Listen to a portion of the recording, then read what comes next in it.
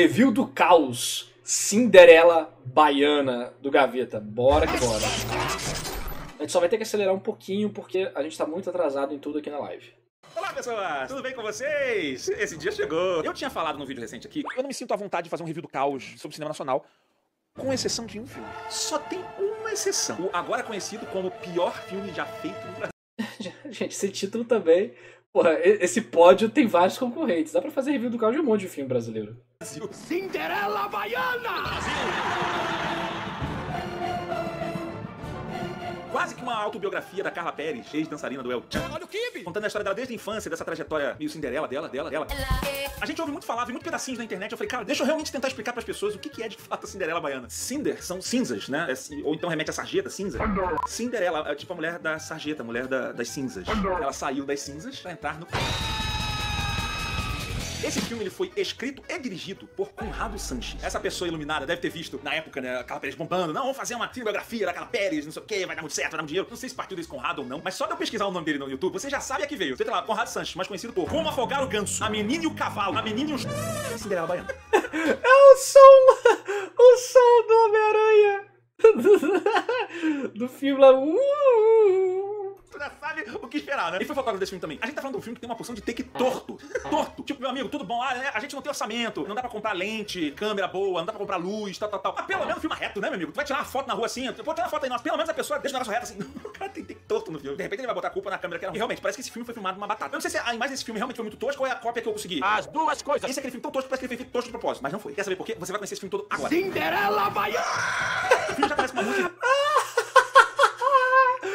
Várias coisas da bunda daquela pedra. O diretor tem história com disso. Na primeira cena que aparece, você já tem um erro de português no título do filme. Baiana! Embora a palavra Bahia seja escrita com H, a palavra baiano deverá ser escrita sem H, estando errada a palavra baiano. No título do filme! Puta que o pariu. Baiano! Lázaro Ramos dançando. Sim, Lázaro Ramos está nesse filme. Eu não sabia direito o que tava fazendo. A gente vai ver a infância daquela pedra, uma infância bem sofrida. Querem mostrar que eles são muito pobres, estão vivendo num barraco no meio do interior, sei lá. Aí do nada eles chegam na sala, tem uma cobra no meio da sala. Meu Deus do céu. E chega o pai dela com aquela atuação fenomenal. Já começa a entregar as primeiras fases desse brilhante roteirista. Não dá mais pra viver nessa casa. Tem buraco em tudo que é canto. O de milhões. Tem buraco em tudo que é canto. E o interior? Tem buraco em tudo que é canto. Esse espaço aqui, ó. Tem buraco em tudo que é canto. Deixa eu te contar uma parada aqui. Onde tá a tua casa? Mesmo que fosse uma casa mais rica, a cobra vai entrar na casa de qualquer forma. Meu Deus, meu Deus, ela tá se rastejando. Ai, meu Deus, tem buraco tudo que é canto. Você tem que ter colocado, sei lá, uma galinha, um cavalo. Tem buraco tudo que é Ah, canto. beleza, depois mostra que eles são muito miseráveis e não tem nada pra comer. A primeira coisa que elas vão procurar é justamente a comida. Hoje não tem nada pra se comer. Bateu, irmão. Gente, uma farinha aqui, isso aqui, porque a gente não tem Nada pra comer. É cobra! Você acabou de pegar a cobra gigante! Tá parecendo aquele filme todo poderoso, Jim Carrey? Por favor, Deus! Give me a Tem buraco em tudo que é canto. Eu só preciso de um sinal, hein? Tem nada pra comer. Com a cobra na mão, gigante, assim. Mas beleza, o pai daquela peste, ele tem que trabalhar meio longe também, porque ele estuda de noite, ele deve ter condição pra poder sustentar melhor a família, ele tem que estudar e tal. Fica a mãe e a filha ali sem ter o que comer, então elas têm ideia de vai pra rua pra pedir dinheiro. Da pista. E aí elas vão fazer um negócio que eu não, não, eu não entendi o que que é aquilo ali. Eles vão esburacando a rua, e aí tem uns passarinhos, bichos na mão, que tá tão duro que parece falso. É falso esse passarinho, mas é aquele passarinho do Monty Python, sabe? Mas eu não entendo, eles têm a tática, eles ficam tacando areia na, na rua. Eles estão esburacando a rua pro caminhão parar, é isso? E nessa altura do campeonato você já nota que aquela Pérez é aquela criancinha meio maluca, sabe assim? Ela, ela do nada ela começa a dançar. Não tem música, não tem nada. Ela... Ah, pô, o TikTok era mesmo. A galera do TikTok faz a mesma coisa hoje em dia. Carla Pérez tava à frente do tempo dela. Ela fica dançando, qualquer oportunidade ela tá dançando. Mas aí o que acontece, o pai dela tá trabalhando lá longe, ele vai ter a oportunidade da vida dele. E aí chega num Fusca o Dr. Francisco e ele entrega aquele texto. Meu cunhado conseguiu para você aquela bolsa de estudos na escola de contabilidade em Salvador. E você vai poder trabalhar como contínuo no escritório dele. Contínuo. O salário não é muito, mas é Meu Deus! Meu Deus! mais do que você está ganhando. Cara, essa entrega de texto, ela tá presente no filme todo. Eu já falei aqui no canal algumas vezes do filme Saneamento Básico. Vocês já viram esse filme? Esse filme é fantástico. Eles precisam de uma obra na cidade, então eles descobrem que se eles fizerem um filme, eles vão ganhar uma verba do governo, e aí eles têm que fazer um filme, mas vão usar a grana pra fazer a obra. E aí eles não sabem fazer filme, eles fazem qualquer coisa. E o filme que é feito no Saneamento Básico é terrível. As falas no filme são exatamente assim. Bom dia, Silene. Bom dia. Aonde vai tão bonita a esta hora? A minha festa de formatura. O baile estava ótimo.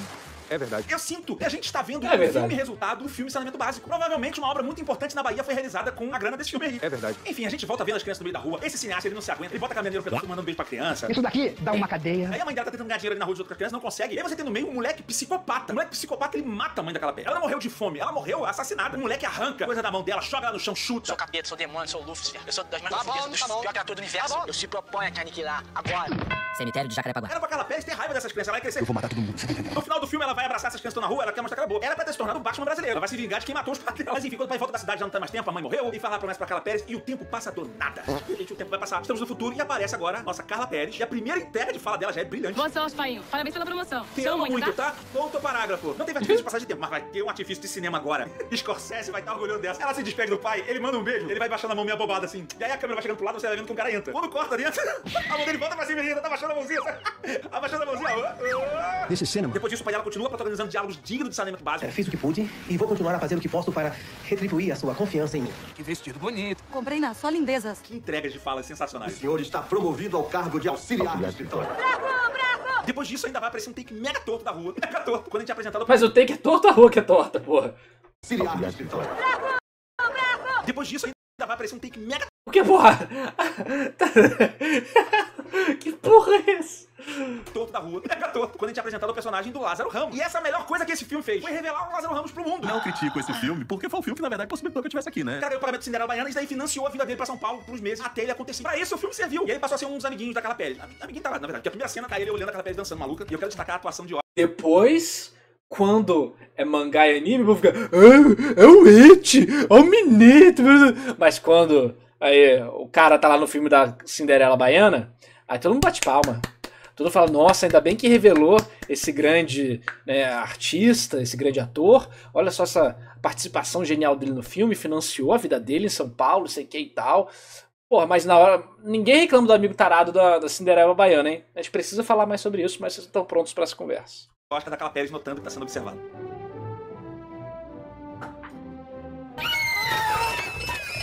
Ó, Mas a partir daí eles começam uma amizade, uma cena de diálogo altamente mal cortada. Aliás, o editor desse filme, ó, você tá de parabéns. Não só o corte, o áudio tá todo zoado desse filme, mas ele tem a tendência de esticar a cena até, até você não aguentar mais de constrangimento. Essa cena mesmo dela conversando com o Lázaro Ramos, ela chega a esticar até o final do sorriso daquela pessoa, o freio do sorriso, sabe? Vai que você aprende a dançar de verdade.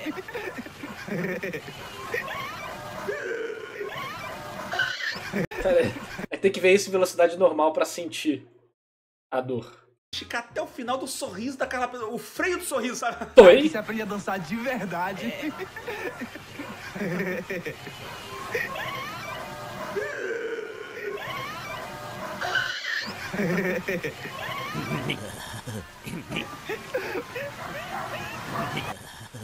Enfim, eles vão andando com ela pela cidade, ela gosta muito de dançar, ela vai até uma escola de dança. onde nós vemos jovens e crianças dançando sensualmente. Não é a única vez nesse filme. Ela tem essa reação super natural, nem um pouco Porque essa é a realidade da época, cara. Trapalhões. Na verdade, ela tinha visto um pedido de like pra esse vídeo. E aí ela tomou um susto. Mas você que tá aqui, você não tomou um susto. Ah, é, tem que deixar um. Aí você gosta das coisas que a gente faz, aí você se inscreve no canal. Com genitais. Esse cara, o Conrado Sanches, ele não conhece outra forma de interação humana sem ser o ciúme. Toda forma de interação humana precisa ser baseada em ciúme. Ou você gosta de uma pessoa e você dá um sorriso abobado pra ela, ou você tem ciúme dela. Então vocês vão ver ao longo desse filme, toda relação é baseada numa crise de ciúme. Então ela chega na academia, o professor encoxa ela, a morena Tá. Tá legítimo. Basicamente é assim que as pessoas agem mesmo. a bacarinha que tá lá dançando, fica com ciúme, vai lá e pega o professor de volta. Sai de perto do meu homem, tu vai se dar mal. O que, que acontece com a Carla Pérez? Ela fica com ciúme do professor que ela acabou de conhecer, encoxou ela. E ela fica tristinha por causa disso. Como na vida real. É assim que seres humanos funcionam. Ela, ó, ele não tá mais me encoxando. Eu vou matar vocês. Aí você tem uma das primeiras cenas icônicas desse filme que é o seguinte: eles falam que eles estão com fome. conversa toda tá me deixando é com fome. Também tô com fome. Aí os moleques têm a brilhante ideia de roubar a carajé. Eu sou é ladrão. Só que a baiana tá fazendo lá a carajé, ela já era malandra, já entendeu logo de cara, ah, vem cá, vem pra cá, eu não preciso roubar não, não sei o quê. Ela dá a carajé pra eles e não dá pra Carla Pérez. e eu fiquei angustiado durante essa cena toda. O que, que a Carla Pérez faz? Ela fica sem graça, ela começa a dançar. É muito do nada, é muito Se fosse personagem de mangá caricato, e o personagem só dança, todo mundo fala, nossa, esse artista aqui, esse mangaka é muito genial, olha só como ele dá vida aos personagens, cada um deles tem uma característica diferente. Você pode ver o exagero através da dança, que mostra a capacidade do personagem, né? Como que ele se sente inquieto e tal, dá vida a ele, dá uma dinâmica, move a tela. Mas quando é a Carla Pérez ali no Cinderela Baiana, aí vira chacota, né? Porque as pessoas adoram fazer chacota do cinema nacional. Muito triste isso. do nada. Ela, ela sempre fica se rindo assim. Só que não para. Se fosse um personagem de One Piece, tá todo mundo babando ovo. Falo mesmo, desculpa. Tem que mandar a verdade. Ela não começa a dançar do nada. Essa cena ela vai escalar a níveis inacreditáveis. Ela começa a dançar pra valer, de repente ela começa a dançar e começa a surgir gente do nada juntando. Daqui a pouco começa a aparecer gente nada a ver, chamada contra a regra, chamar a galera que tava passando ali, não tinha o menor jeito. A galera começa a dançar. Os moleques, amigos da Carla Pérez lá, né, que vivem na rua, começaram a ter ideia. Pessoas estão dançando. Ótimo momento pra vender essa bomba calórica que é uma carajé. É isso que a pessoa quer quando ela dança. Eles começam a vender a carajé no meio pra galera. É viciado, é viciado. Todo mundo come a carajé, Deus. menos a Carla Pérez. e a baiana assim, essa baianinha parece uma Cinderela. Será que ela é um anjo que veio iluminar a minha vida?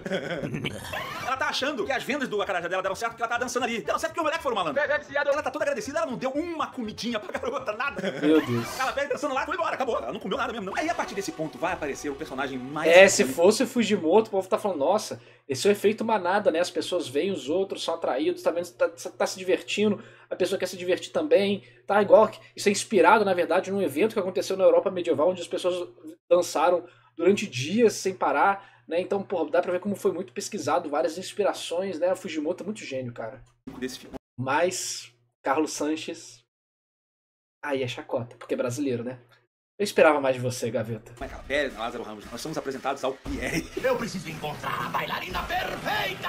Cara, o que eu falo do Pierre? Pierre é um produtor musical da cidade. Ele produz vários shows, ele acha talentos, é o produtor musical mais famoso da cidade. Nós temos esse bigodão ultra overactor, o cara que grita pra falar. Ele não fala, ele grita o filme inteiro. Vai ser um show para o mundo! O cara que fala desse jeito!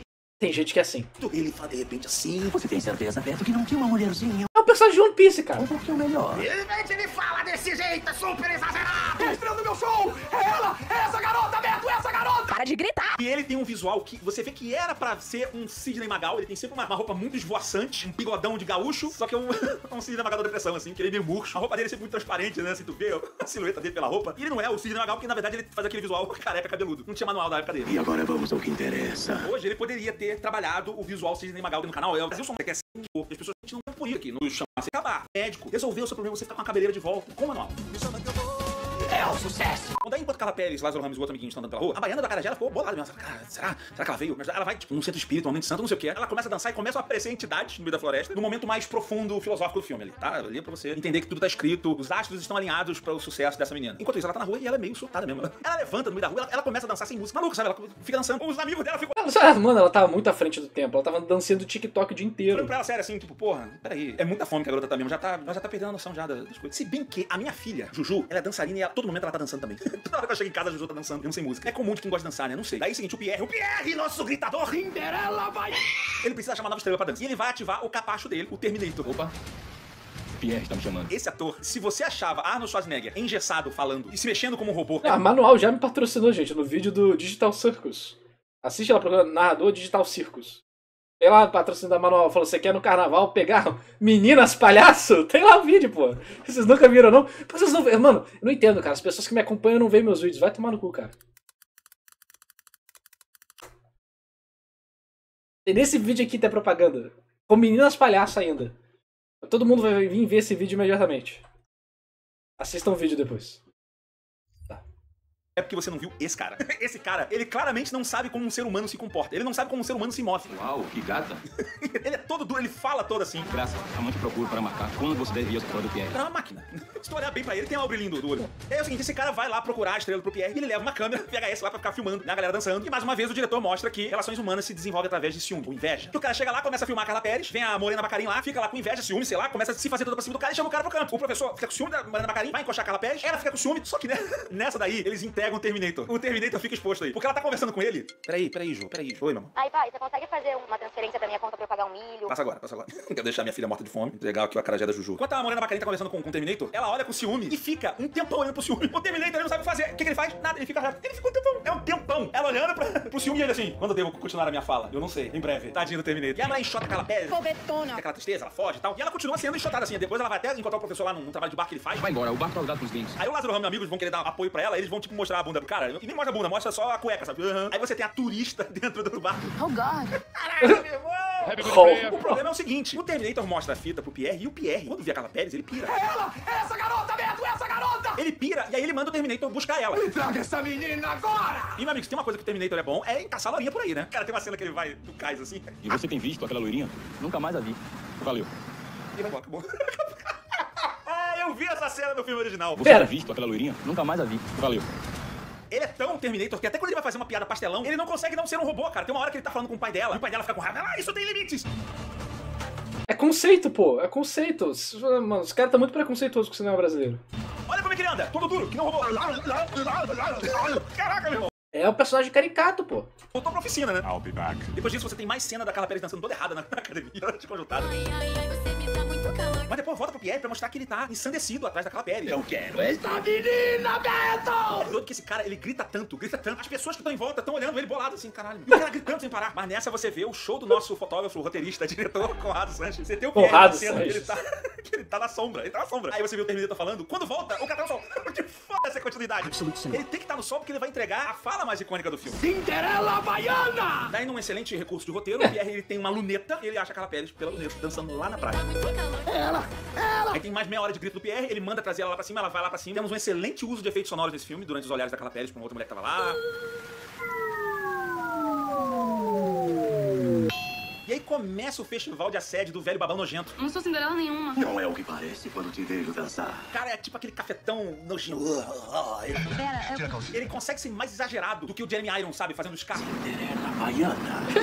Baixinho, ele fala de repente assim, pra depois gritar A mais. senhorita é a famosa Cinderela Daí ele Baiana! vai querer dar o banho de loja nela, ele vai financiar ela, vai começar a investir, e ele vai começar a testar a Carla Pérez em shows por aí. Então ele vai no primeiro show, ele escolhe o show da banda Radio Táxi, fala pra ela dançar durante a apresentação deles com o pior lip sync que eu já vi na minha vida. Mergulhando em tua luz, vida. Nisso a gente vai vendo o velho ficando cada vez mais nojento. É o amor! Ficando em cima dela, e ela só. Mas ela não vai ficar só nisso, porque ela vai encontrar o amor dela. Conforme ela ganha dinheiro, ela vai indo pra outros lugares. Então ela vai pro show, ela vai ver o show do Alexandre Pires, cara. Ela é muito fã. E a construção sutil de romance é isso. Ela acha ele no backstage ali. Fechei a já comecei a amar. Tem pra tirar foto com o cara, é só param do lado do outro, dá aquela sediada, vou dar aquela beijada do nada na mulher. É isso, é, é isso. Caralho, morreu. Acabou, guarda essa cena, ela vai ser importante depois, calma. Enquanto isso, Na balada é assim mesmo, porra. Você vai vai ficar batendo papo? Já olhou ali, já foi, encarou por mais de meio segundo, é dentro. É. o Pierre tá cada vez mais agindo como cafetão, né? Tipo, ele levanta o braço assim, ela vem com a roupa colada do lado dele. Ah, não sei o que lá. Ele, ah, isso aí, minha querida. Ah, já tá dando entrevista falando que ela é namorada dele. Ela vai ser a top one do showbiz! Do. Cara, é tão exagerado. Ele mesmo faz o delay da voz dele. Puta que pariu. Só que é o seguinte, como o Pierre ele é tono, Mas esse personagem é totalmente personagem de One Piece. Botar o Terminator pra ficar na cola dela. Então ela vai dançar, chega lá sorrindo pro professor de dança, o Terminator ele fica colado nela. Eles ficam dançando e o cara fica do lado, assim. Ele é um robô, ele não sabe como é que é a interação humana. Ele fica do lado, ela dança, ele fica colado, colado. Deus. E aí eles querem falar que ela tá dando certo, então eles botam o Pierre falando em vários telefones. É muito cringe essa cena. Excuse-moi, excuse-moi, maman. In the middle, dancing. E daí ele planeja a maior maldade do filme. Ele vai fazer ela fazer dois shows no mesmo dia. ele bota ela pra fazer um show em Paris e Nova York no mesmo dia. Nós podemos fazer dois shows simultaneamente, simultaneamente. Eu não sei nem se é fisicamente possível. É. Pegamos o jatinho logo depois, salão! Ele falou que ele bo- bota ela pra voar de avião contra o fuso. Salão! Enfim, o filme vai continuar alternando com mais cenas aleatórias dela dançando qualquer coisa. O Pierre babando, se esfregando nela o tempo inteiro. Esse desgraçado gritando o filme. Ele grita o filme inteiro. O mundo quer a minha cara! Para de gritar, filha da puta. É insuportável. Tipo, tu não aguenta mais ouvir esse cara gritando.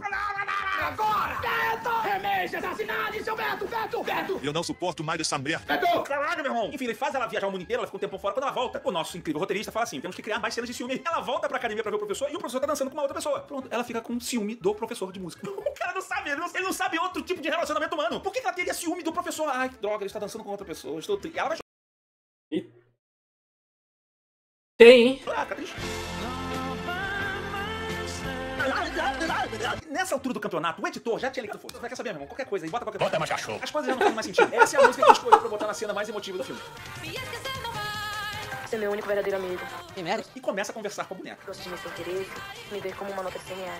Já tive outros amigos. Desculpa, não tava prestando atenção. E aí ela tá triste e do fucking nada surge Alexandre Pires. Alexandre Pires, que nessa época namorava a Carla Pérez. Era um de- desses casais famosos do Brasil, Alexandre Pires e Carla Pérez. Foi um casal por muito tempo. Então, o diretor, roteirista, sei lá, ah, não precisa de explicação não. Porque ela fala assim, Você é meu único verdadeiro amigo. Não é verdade. Eu também sou seu amigo. "Ué, esse cara que apareceu no filme. Ah, não, ele apareceu. Ela foi nos bastidores, ele assediou, deu um beijo, ela desmaiou, saiu lá na maca do SAMU. Acabou aí. Como na vida real. Ah, mas a gente sabe que eles são namorados na vida real. É amigo, é amigo, tá sempre junto. Então, Foda-se.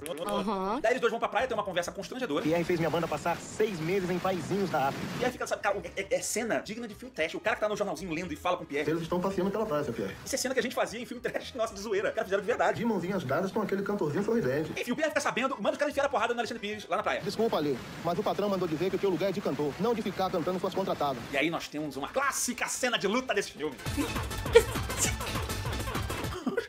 No Alexandre Pires e ele tá encaixado no colo da Carla Pérez. Corte, né? Sabe esses memes que a gente tá vendo agora? Que o pessoal vai ter um acidente e corta e... Se você tava precisando apenas pra você. As melhores carteiras disponíveis aqui pra vocês. O queridinho do momento já chegou na Cacau Show também. Caralho, mano. Chega Lázaro Ramos, amigo deles, resolve a, a briga no melhor estilo Trapalhões. Vou te comer. Mas a edição boa, ela vai acompanhando esse filme todo. Eles têm um Meu diálogo com Deus. ela, volta pro Lázaro Ramos. Lázaro Ramos ele já tá sem, nessa altura do campeonato, ele já tá sem graça. Ela fala com eles, eu nunca mais vou esquecer de vocês. Isso nunca mais vai acontecer. Aí hora e fica um tempão eles assim, um silêncio constrangedor. Daí a Carla Pérez volta pra ver o Pierre e adivinha qual sentimento esse diretor e roteirista vai fazer ela ter. Adivinha? Pode ser ciúme ou pode ser o quê? Ciúme. Mas não é um empresário escrotão, velho nojento, que ela tem raiva. É, mas ela só sabe isso. Quando ela chega lá, o Pierre tá fazendo já com uma outra garota a mesma coisa que fez com a Carla Pérez. Ah, eu vou te dar um banho de loja, tal, tal, tal. Assediando lá em cima da mulher. A Carla Pérez chega e é por ter ciúme de outra mulher que ela decide não ter mais o cara como empresário. Já que você é uma nova contratada, posso me considerar dispensada de ser sua escrava. E aí assim acaba a parceria dela com o Pierre, fazendo piada trapalhões. Ah, um cisco, eu tava só por um cisco no dedo. Cara, um cisquinho desse tamanho, não. Ai, ele olha pra câmera, mano. É um desafio passar por esse filme inteiro. Mas agora a Carlinha Pérez tá livre, ela vai procurar Alexandre Pires, uma cena da praia com uma música nada a ver. E ela começa a chegar falando. Acho que estou precisando de um namorado. E você repara a edição sonora catastrófica. Que eles deviam ter filmado num dia que tava muito barulho. Toda vez que eles vão falar, vem um som altíssimo do fundo. Sabe? Estou disponível e me candidatando. Muito ruim. Mas assim, no final das contas, tu pensa assim, ah, o Pierre se ferrou. Não, continua tudo bem. Ficou enganando outras mulheres. O Terminator continuou sendo capacho notificação tá pausada enquanto tá vendo o vídeo, vou dar play depois. dele. Ele quer mostrar que tem outra mulher. Os caras botaram uma mulher. Qualquer uma mulher tava curvada na cadeira assim. curvada a mulher. Toda... Chega o Terminator. O Terminator não sabe como agir, né? Ele precisa elogiar, sabe assim? Ele... Uau, que gata.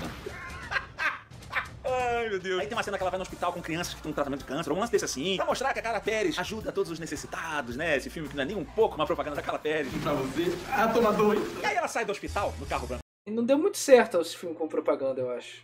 dela, ela tá vindo pela rua. E temos a cena final. Eu sei que essa cena ficou muito famosa na internet, mas eu quero que vocês entendam o contexto todo dela. Olha, presta atenção. Ela saiu do hospital. Ela tá vindo com o carrão branco dela na rua. Estão as crianças capinando no asfalto. Ela para o carro branco dela. Ela sai de odalisca. Baby, é odalisca? Agora olha essa cobra coral subir. Ela sai de Oda- Ela sai do hospital, vai pro carro, sai de odalisca no meio da rua. Quando ela sai de odalisca, ela fala, ih, fudeu, agora o negócio pegou. Não dê isso, menina. Você devia estar brincando e estudando, não jogada na estrada pra ganhar os míseros trocados pra matar a fome. Filme americano atual e sério é tipo isso aí, tá? HQ. Fica isso aí, tá? Taca a enxada longe e tal. Vamos libertar os pássaros. Você, como as crianças, também tem o direito à liberdade. Aí ela abre a gaiola, o pássaro não sai. Eles ficam sacudindo a gaiola pro gato. Meu Deus! O pássaro tá tipo, socorro! Aí ela manda o textão de milhões que tá famoso na internet. De que adianta essas campanhas demagógicas se essas crianças continuam aqui na estrada e com fome? Todos pequeninos merecem proteção, alimentação, amor e paz. E paz. E paz.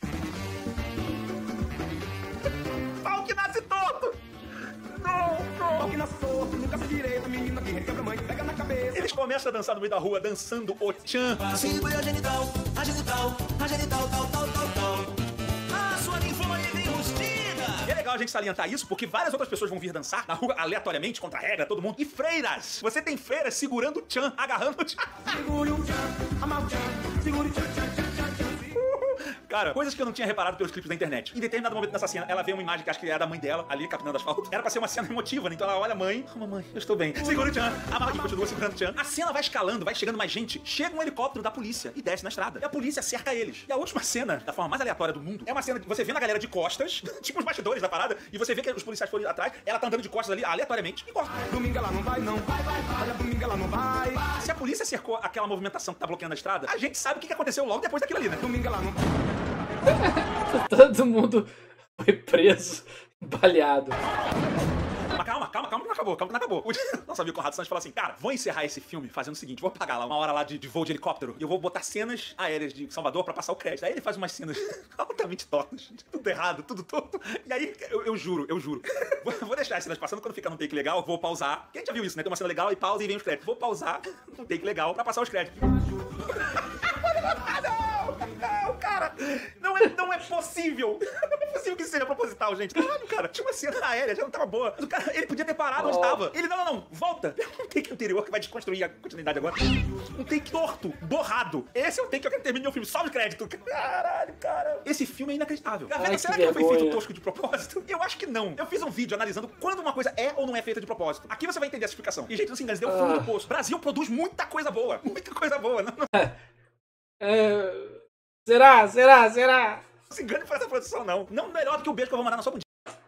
Tanto é que ele não quis falar de outros filmes brasileiros, ou seja, ele falou que não queria fazer com o brasileiro, porque dá pra esculachar um monte, mas ele falou pra não ficar mal com a galera da área. Meu Deus. Ai, que vergonha, cara. Pra você ver que o que importa é conexão. você saber escrever, você ser diretor, não importa, nada disso importa. O que importa são suas conexões. Porque senão. Boa sorte. Vou terminar esse vídeo deprimido aqui. Dá play nas notificações aí. E aí, Rodrigo? Valeu, mano. Dois anos já, caraca, tem pacas. Tocar aí a galera chegando. Prêmio Pai do Ano. Pai do, dela, né? Tá vendo o vídeo dela. Ah, mano. Ai, que horror, cara. Eu não aguento vídeo assim não, cara. Muita vergonha pra mim.